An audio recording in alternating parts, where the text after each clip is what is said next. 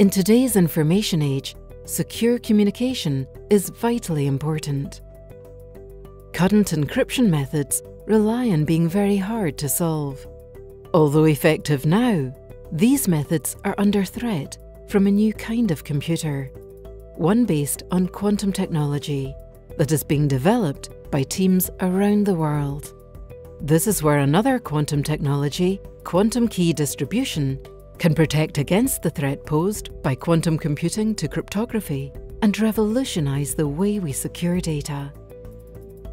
To send data securely, a key is used to encrypt it before transmission. The data can only be decrypted by using the same key used to encrypt it, which is only shared with the intended recipient.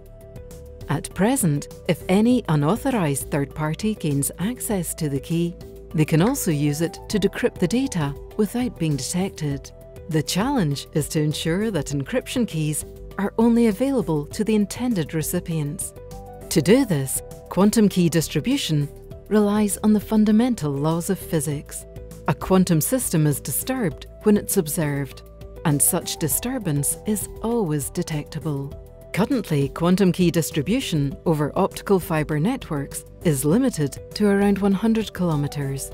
Much longer distances are possible, but the signal would need to be boosted every 100 kilometres or so, which compromises the security of the key.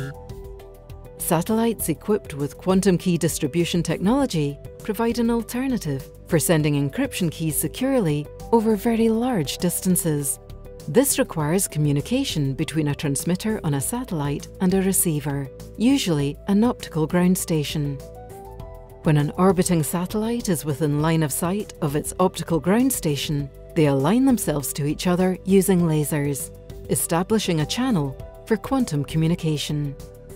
On the satellite, the quantum states of photons are used to transmit the key, which is sent to the ground station. The satellite and ground station compare measurements of what was sent with what was received.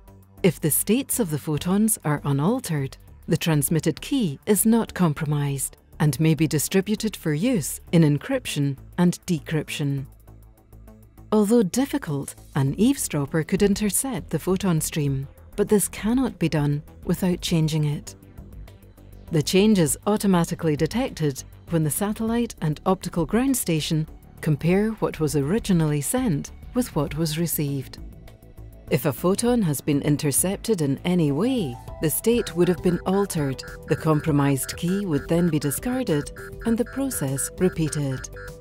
RAL Space and Partners are developing SpeQtre, a proof of concept mission paving the way for a whole network of satellites and ground stations providing global coverage a blueprint to develop other missions, which will keep the UK at the forefront of emerging technology.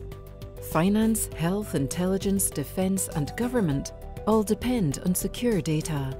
Quantum key distribution from space would usher in a new era of confidence and trust in our digital environment.